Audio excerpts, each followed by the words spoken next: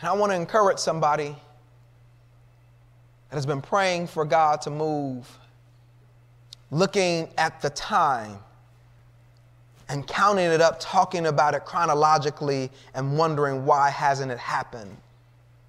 And not thinking about it in the way that God has an appointment of time for something to happen.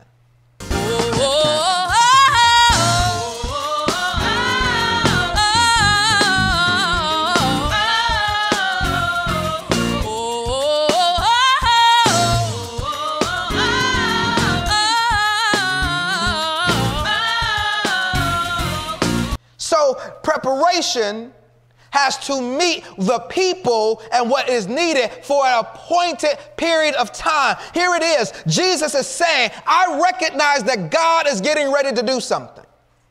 And I need for it to align with God's plan so that I am not out of place. So let me move out the way. Because if I keep on doing what I'm doing, I'm going to start rushing the process, and then people will get out of way, and this will take away from what God wants to do.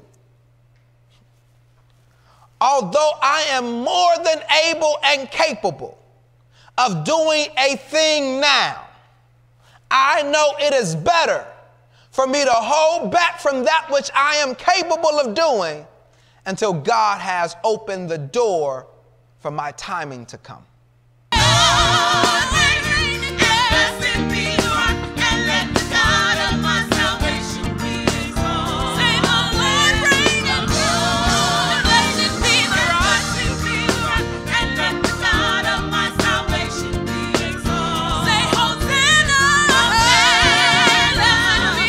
This is, this, is, this is how God worked it out.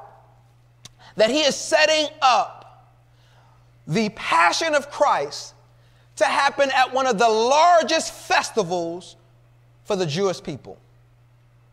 He doesn't want Jesus to go through what Jesus is getting ready to go through in obscurity with maybe a few people seeing it.